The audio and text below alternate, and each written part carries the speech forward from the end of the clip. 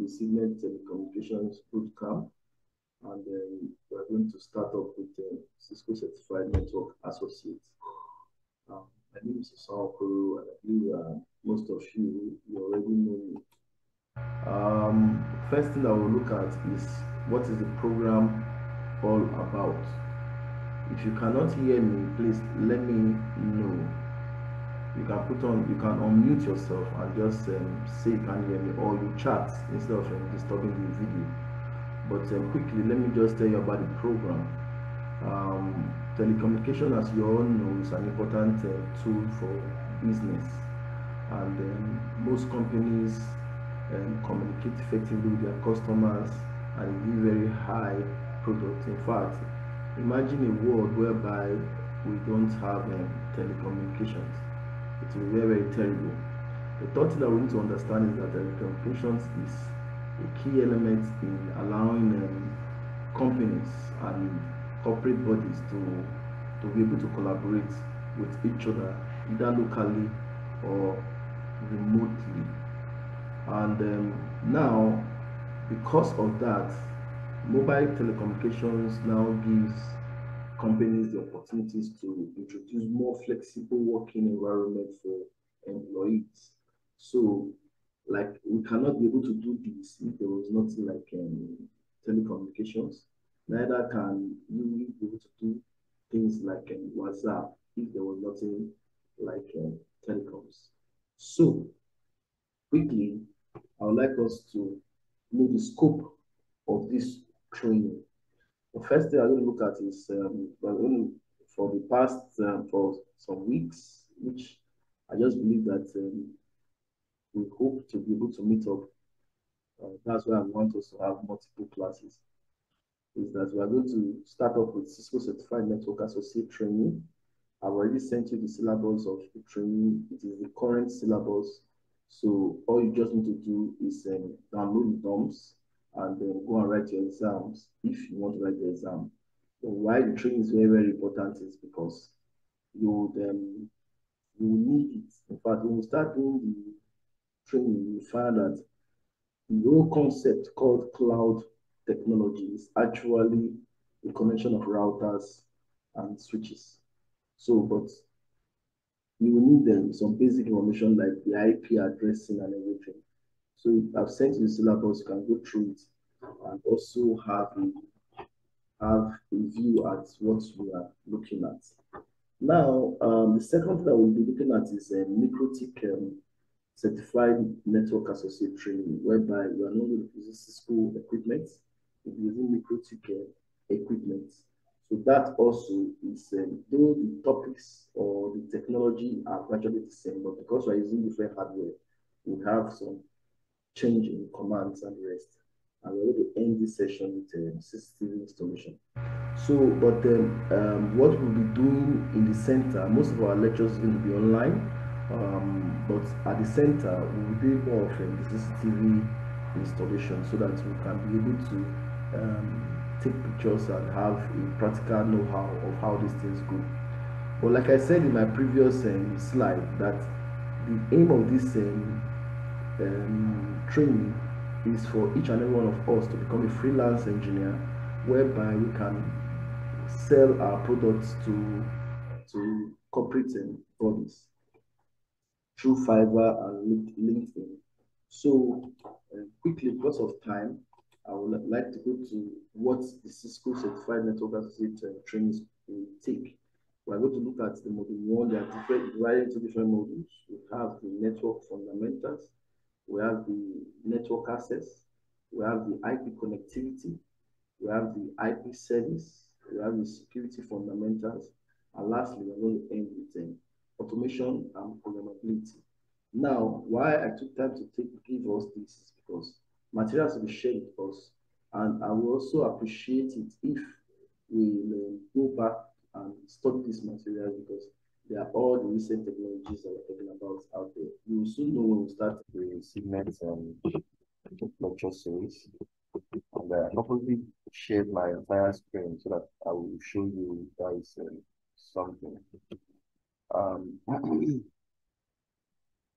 I'm about to open um, a transaction that um, just got to my phone so that you understand the importance of what we are trying to do. I told you the other time that I did some work for KPMG for remote um, remote um, to configure remote um, um, routers. Uh, KPMG is actually financing, or sorry, uh, servicing, supporting uh, brass fertilizers. So they gave me a job to do a VPN for them. So um, this was it was a 45 minutes job, but guess what? This was what they paid me. So this is just one of the things that you get from these services when you are uh, an expert in um, configuring your routers and your switches. So that's the aim of this um, lecture, so that we can be able to, after we have finished this series, we, or we also can be able to do similar services and paid. Now, having said that, I will um, remove this share and go to the, uh, network fundamental to be looking at, like I said yesterday, we're going looking at um, um, we explain the role and function of network components. We'll describe their characteristics, um, the, the characteristics of um, network topologies. We'll compare physical interfaces and cablings. We're also going to identify interfaces and cable issues. I just spoke about about this yesterday. So we're going to go to the first item which is to identify the role and function of each network component. Okay, when we talk about role and function of network components, first thing we need to ask ourselves is that what are the what are what is a computer network? I know most of you already understand uh, network. You already have your own form of definition for computer network. So I took this from um, Wikipedia, this um, diagram that I'm looking at, and you can see that it's a collection of all the devices that are shared um, data through the OSI reference layer that I explained or talked about yesterday. So, um, having said that, what indeed or actually is a computer network? The computer network is a set of computers and resources located on or provided by network nodes. And uh, we also know that the computer uses uh, common communication protocols over digital interconnections to communicate with each other. This Wikipedia definition of what a network is all about. And then we're going to go into each and every one of them gradually.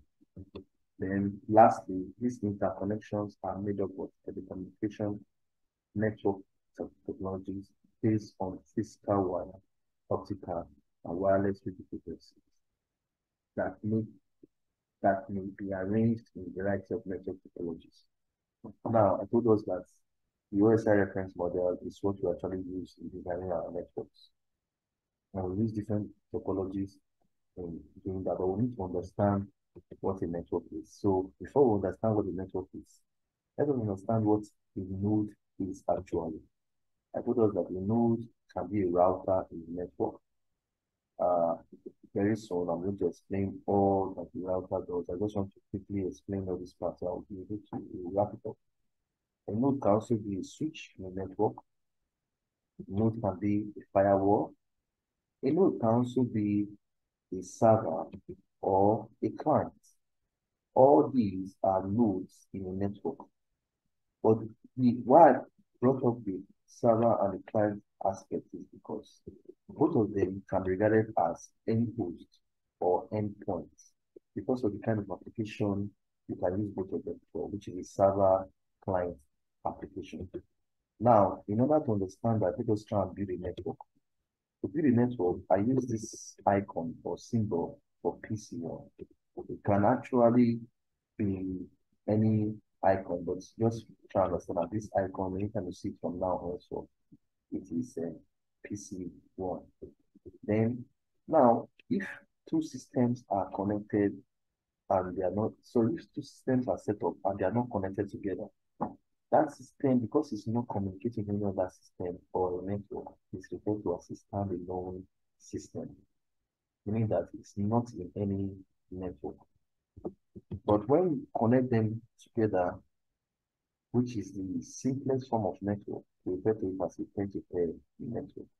Now, that simple cable now that we have connecting both systems together can be replaced with other things. So in building your network is how to replace this cable with other networking devices so that these two systems can communicate. Now, before we go further, let us first of all understand that the computer network is a digital communication telecommunication network which allows nodes to nodes to share resources. Please take note of, take note of that. It allows nodes to share resources. So it's the sharing of resources now that we're going to be dwelling upon. Now, the first node we'll look at is the network line. Now, like I said before now, I said this symbol can be used as to replace anything. The client is an end device. So I just use this symbol. It can be a laptop. Your client can be a laptop. It can also be a server. A server in a a, a, a client in a network. So it can be a laptop, it can be a server, it can be a MacBook. You understand? An iMac. It can also be your phone. Of that. The client, the network client can be a laptop, a server, and yeah, an iMac, or your phone. All these can stand as a client in your network. So in discussing what a client really means, we have to look at the definition of what the client is. It says that the client is a device that accesses services made available by, by a server. Somebody's raising his hands. Um, somebody raising his hands. Okay. Okay. By server. So I need us to understand this definition very well. That the client is a device that accesses um, services made available by the server.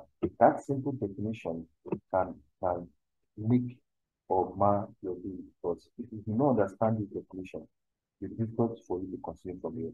So just know that anything that accesses services made available in the network is actually right. Now, having said that, let's now look at the network server. I use this icon also to represent the network server. Uh, the network server can be an IBM or Dell. Both of them, these are examples of two servers that you have. But we need to understand what a network server is. A network server is a device that provides functions or services for a client in a network. We need to understand these definitions appropriately. So I can be to understand how to build your network. So having said that, let's come back to our peer-to-peer network. In understanding this network, we need to explain the server client. Um, we have two PCs connected together. And then this PC is asking, PC1 is asking PC2 for an image. And PC2 responds or views it and views the image as a response from the request. In this case now, PC1 is acting as a client because it's making requests on the network, while PC2 is acting as the server. So I need us to understand that very well. That client makes requests for network resources, while server responds with the response. So uh, with the resource. So now that we now have this basic definition of who a client is and who a server really is, let's now go to you trying to access this video on YouTube. And then now the connection now has been replaced by the internet. That single line that we had before now has been replaced by the internet. In this case now, your phone is asking for the video, which is this video, and the YouTube server sends the video to your phone and you are viewing the, the, the video. In this particular case, your phone is acting as a client, while the YouTube server is acting as a server. We need to understand these two terminologies very well because that's the whole essence of um, networking. Now, the third example is maybe two phones using Xender or any other application to ask for a video and request and get that video. The phone that requests for the video is referred to as the client, while the one that gives the video is referred to as a server. I really need to understand this concept very well. Now, to summarize what I was saying is that the client is a device that processes a service made available by the server, while the server is a device that provides function or services for the client. Now that you have gotten these two definitions, let's this I think this what we ended in our last class. So today now we are going to look at a more robust um, network. Remember last time I showed you PC1 and PC2 I will draw a line between both of them I will say that that was a peer-to-peer connection. So in this case now, welcome find uh, Bukoye, you're welcome. Um, in this case now, we want to look at an office in Calabar and an office in Lagos. Um, the two offices, the one in Lagos is the headquarters that has two servers, server one and server two. While the office in Calabar has PC1 is two, it's just a branch office. Now, you cannot possibly connect the cable from here, as in from Calabar to Lagos. So how do you possibly design or draw this uh, network? The first thing we need to understand is that when the number of network devices that you have, uh, which is which are your PCs, the network printers, the network scanner, your photocopier, device that or any device that's on the network, you want to, if you want them to be connected together, as long as they are they are not far from each other, it's just an office or within a building or within an office complex. The first thing that you need to do is to draw all of them together into a device or aggregate all of them together into a device. That device that you're using aggregating all your pieces together is referred to as a network switch. An example is what's on the screen. Now, hello Daniel, you need to mute your mute your speaker so you will not um, whatever noise you're in will not be entering. Thank you very much. Okay, thank you. Now, as I was saying, now when you have all the systems connected to the switch, it is now this all of them especially in the Calabar office, cannot be able to communicate with each other. The moment you do this, we refer to this kind of network as the local area network, meaning that you are able to connect every device in the in the office to one switch. The same thing will happen in, uh, in Lagos. The switch one is connected to is is in Calabar office, all the devices are connected to switch one. Why switch two? All the servers are connected to switch two. Now, this is the first step. We have two LANs now, which is one in the Calabar office and the other one in Lagos office. LAN one and LAN two. And the switch is what makes the LAN where everybody is connected to. Now, the, what the switch can do for us is to ensure that this is one can be able to talk to PC2. They can be able to share resources. The same with um, uh, server 1 to server 2. You understand? But the moment they want to go to the internet, switch does not forward such packets. The third device is needed. An example of a switch is what you have out there.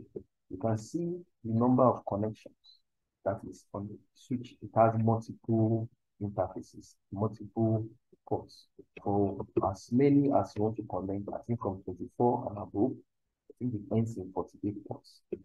Okay. But you can connect with this and switch all the devices will be you have a cable running for all the way from that device to this particular switch. Now, the switch, like I said, cannot be able to make your systems browse. You need a third device. Take, for example, you want to connect to the internet the switch will not uh, forward that um, information because the switch will not know how to get to the internet. So what you need uh, is a router. But before we look at the router, let's look at the, types of switches that we have out there. The first is um, Cisco Catalyst 9200. That's a switch that has about 48 ports. Very expensive. We also have another type of switch. I have this one in the office. Cisco um, Catalyst 3650. This one is a 24 port switch. It's on the floor in my office. And then if you want to receive it, we'll all play with it very soon. But these are the kind of types of switches you easily come across. There are other types of switches, but these are the two major switches that you use for either you are if you want to write your Cisco exams, these are the switches that you use, or you have your packet tracer, maybe we'll start doing some configuration very soon. The switch that you see there is this and this. Now, let's look at the characteristics of the switch. A switch has many network interfaces, and I showed it before now, or ports for the end goals to connect. Usually you see 24 port switch, but we also have the 48 port switch, which you have here. The second thing about the switch is that it provides connectivity to host within the same LAN. I explained that one to us just now that PC1 and PC2 can communicate, but they cannot go to the internet. So connectivity is already achieved in that local area And the third thing is that we do not provide connectivity between LANs over the internet. Exactly what I explained to us that time. They do not connect connectivity between LANs. They only just work within the LAN that they are providing for that end user. Now, what the device that we need to connect to the internet are the routers. So let's go back to our, our diagram. So for us to go to the uh, internet, we need this router one and router two. Now the switch is connected to the router, and the router has what we call the routing table that is able to tell to tell wherever these people are going to, anybody that's going to the switch, wherever they're going to, it sends the information to that place. So for now, in this particular network, we have two offices. So in those two offices, we need a router in each of those offices. So we need to configure this router and this switch in order for everybody in this place to be able to communicate with everybody in this other area. So that's the essence of the router. And I also like to tell you the types of routers we have. We have um, an ISR 1000, ISR 900, and this other one that we have out there.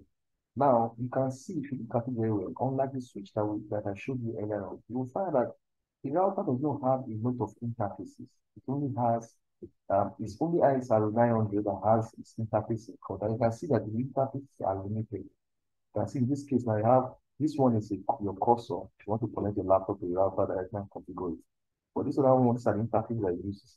These two interfaces are bigger interfaces. Why these four your fast Ethernet interfaces. I will explain all those interfaces for us very soon, but I just want us to understand what a router is all about. So as you have seen, these are different types of routers you, play with out here. So now let's look at the characteristics of a router. I said that a router have fewer network interfaces as I explained to you just now. It has fewer network interfaces than a switch.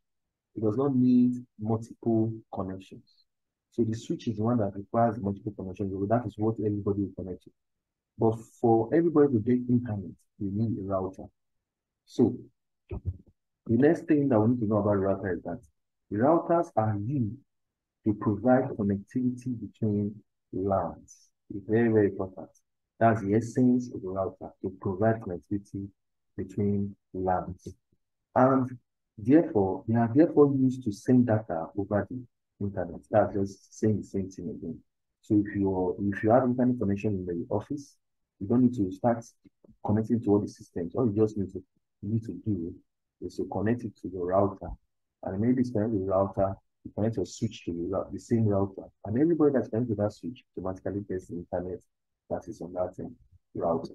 So I'm just explaining everything for you so that you'll be able to know all the network nodes and how they operate in a network. The next thing that we need to look at is the firewall. Now, the network, I brought back the network, the diagram again, Calabar office and the Lagos office. Now, things are going smoothly. If someone wants to send information to server one, all it needs to do is to send information on the information and the packet leaves, leaves PC1, gets to switch one. Switch one looks at the destination um, address and it sees that it is not within this local area network. So it sends anything that is not within its local area network to the gateway.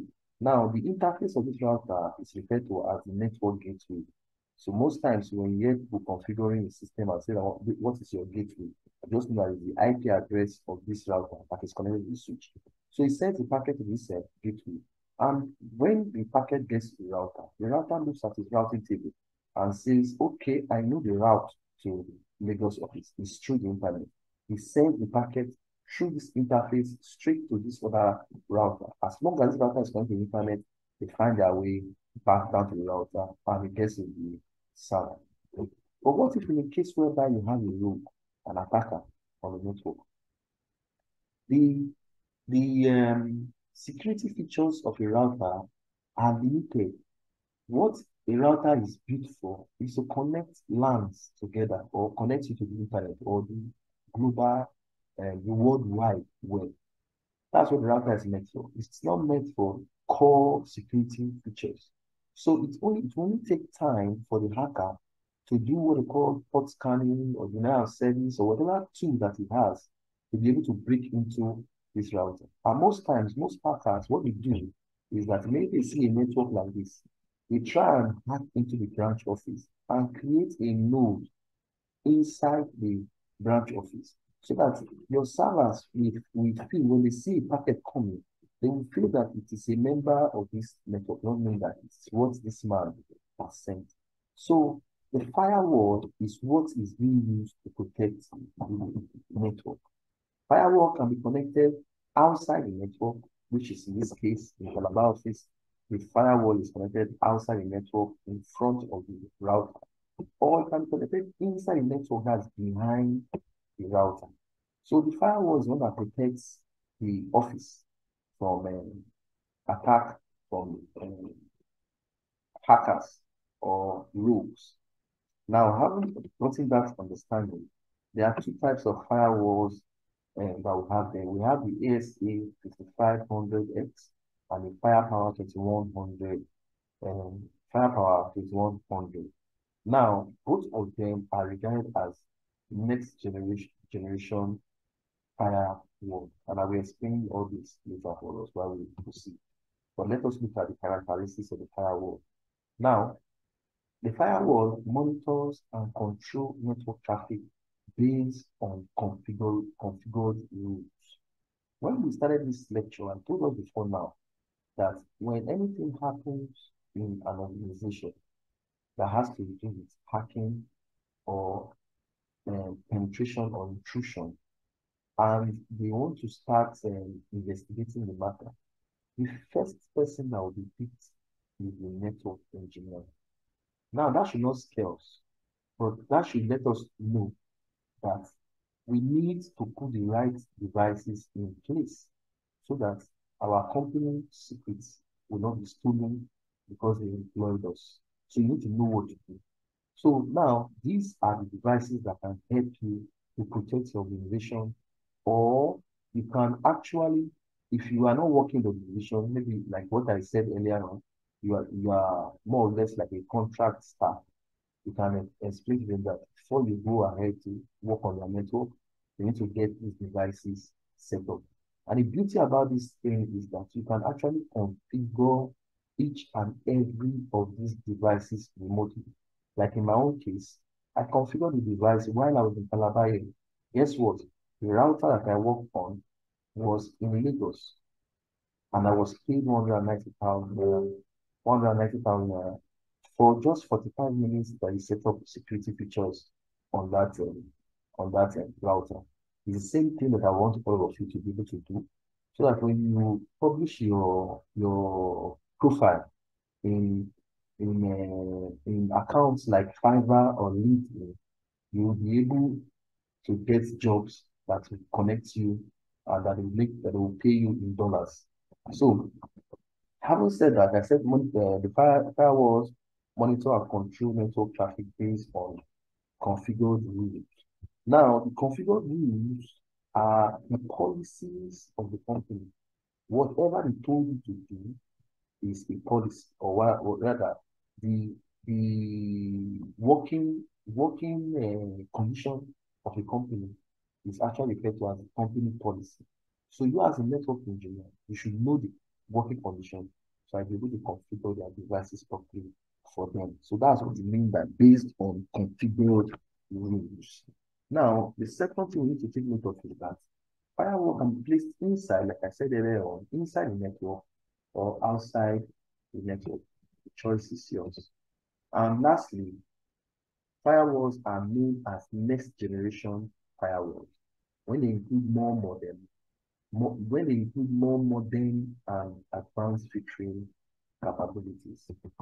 Having said that, let us understand something that firewalls are hardware devices that filter traffic between networks. But guess what? Your laptop also has a firewall, and that is referred to as host-based firewalls. So there are those ones are referred to as software applications that filter traffic entering and exiting a host machine like a PC. Having said that about firewalls, I would um, it's time uh, I, I believe I have been able to address all the network devices, starting from the router to the switch to the um, firewalls, all the network nodes. I've introduced them to us. So I would like us to answer some questions, just five questions, before we take attendance, before we take attendance and end this uh, and end this uh, this um, meeting. I already have 10 minutes left, so let's be fast with it. The first question is this. I would like you, I would like everybody to give their own answer. Don't worry, any I will explain the answer, give us the answer, but just try. So let me see how you are. You are okay. So you can unmute yourself to answer if you know the answer. So the question is, your company wants to purchase some network hardware. So, so that you connect about 30 pieces in your department. So which type of network device is appropriate? A, you have a router.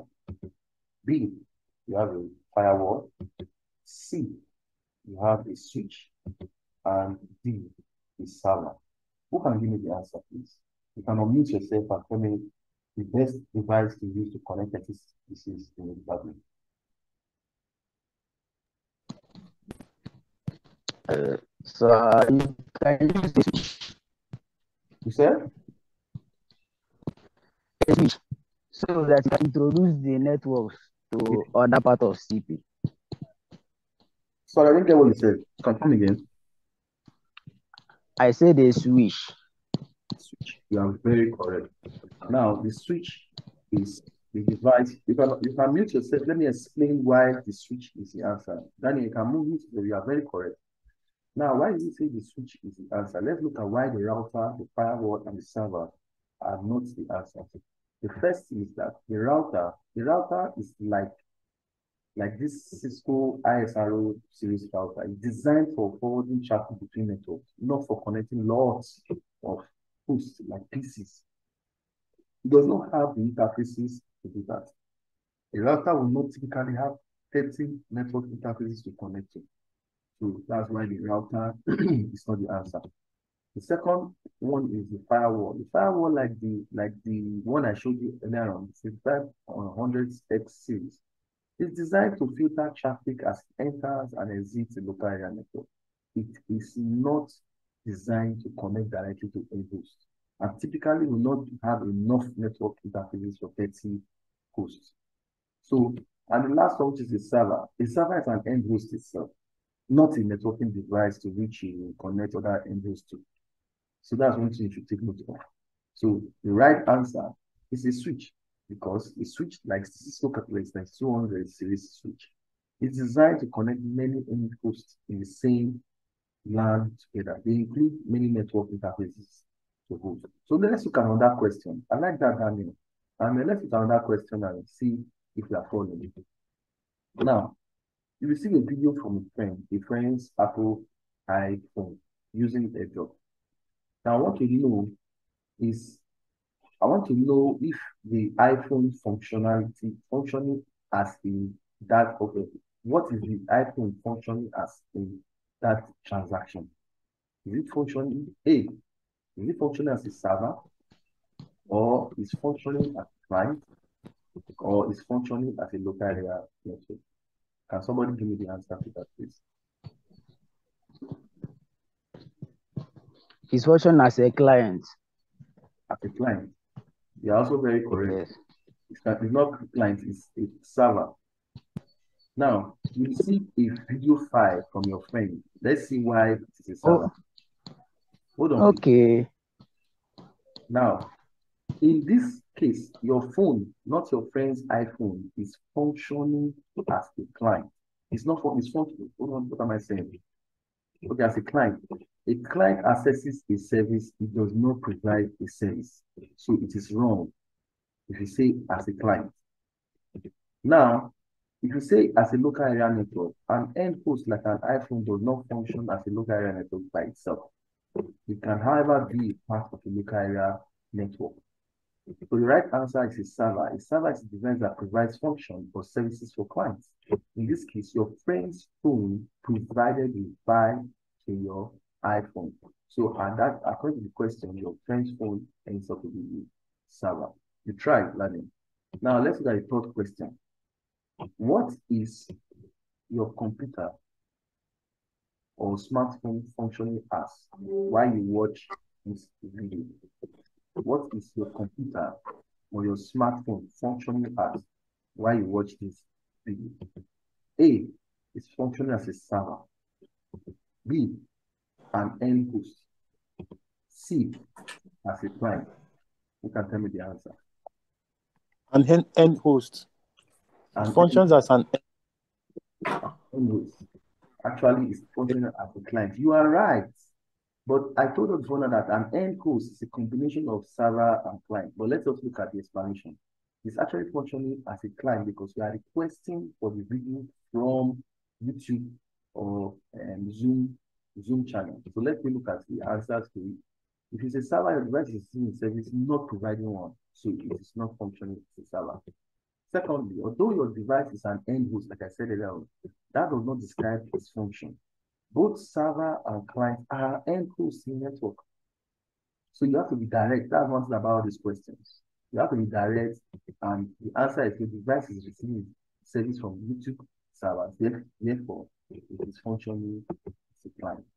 Now let's look at the fourth question before the last. Your company wants to purchase some network hardware to connect its separate networks together, like what we did previously. What kind of network device is appropriate? One, a firewall. Two, a host. Three, a LAN. a host. A host. oh, sorry. The last one is a router. So you can answer the question again. Are you sure it's a so your company wants to purchase some network hardware to connect the separate um, networks together. So what kind of network device is appropriate? Is it a host like uh, Okoye said? Think about it. The device to connect other networks together. Because of time, let us just let me just wrap up. It's actually a router. Now let's look at the questions, the answers. A firewall, although a firewall can connect multiple networks together, its primary purpose is to monitor and control traffic as it enters and exits the network. So that's what you, need to connect your multiple offices together. The second is a host. The term host can refer to any type of network node. Like I said for now, it can be a laptop, it can be a server, it can be an iMac, it can also be your iPhone. So that's not what you mean actually. A LAN stands for local area network. A LAN is not a network device itself. It's just a term for a group of computers connected together. Now, a router is a device that is designed to connect and forward network traffic between multiple networks. Now, the last question. Your company wants to upgrade its old network firewall that has been there for several years to one that provides more advanced function, functions. What kind of firewall should be purchase? They purchase a host-based firewall or a next level firewall or a next generation firewall or a top layer firewall?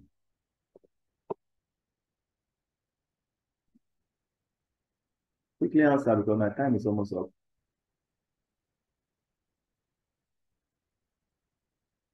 Okay, don't worry. You understand when you watch the video. You know that I okay. Okay, you are about saying something. I don't know. I'll go for I'll go for host-based firewall. No, I'm not. I'm not the time this class started. I'm not yet the time the class started. Okay, okay. Um, when next we are doing lectures like this, try and jot your take um, jottings of what I am saying. Uh, because the idea is for you to fill your logbooks, and all these things are what you do in your logbooks. So, but the answer is a next generation firewall.